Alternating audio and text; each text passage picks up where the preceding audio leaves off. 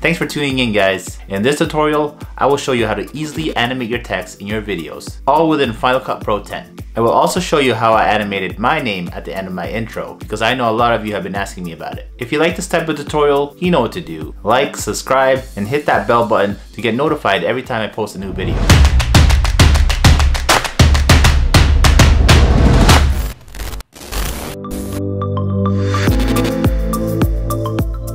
Now here are some really, really easy ones for you guys to try out and play around with.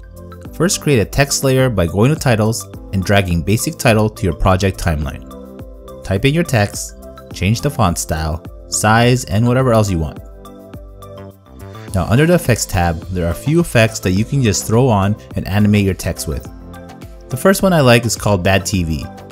Search for it and drag it on top of your text.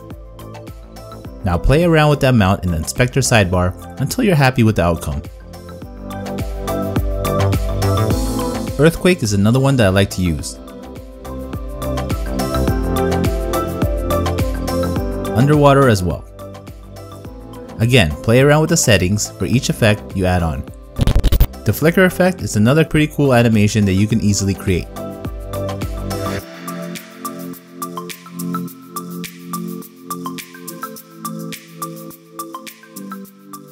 Once you have your text placed and font picked out, press B on your keyboard and use the blade tool to cut the text every frame.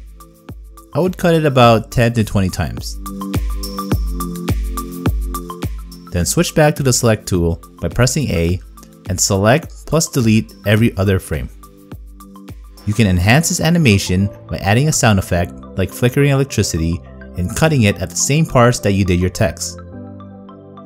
It should look something like this afterwards. And now my glitching intro effect. First I created a basic title, wrote my first name, changed the font style and size, clicked on the transform tab and placed it towards the left side of the screen. Next, I copied the same title, pasted it on top, then changed it to my last name. I then clicked on the transform tab and moved it beside my first name. Shorten it to about a second long. I then copied that text and pasted it beside it. This is where I wanted to glitch and switch names.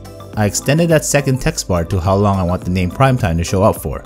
Now copy the first text you created for your last name and paste it at the end. For the next step, you're going to need some kind of glitch transition. Ryan Dangle has some really great ones that I use for some of my videos. If you don't like what he has on there, just do a search on YouTube and you will find a bunch of other creators offering different types of glitch effects. Once you have that downloaded, place it in between all three text bars at the top and adjust it to how long you want it to last. The last step is to add earthquake effect to all the texts. Under the effects tab, search for earthquake and drag it on top of each one. Add a glitch sound effect during the parts where it glitches to make it pop out even more. Now it should look something like this.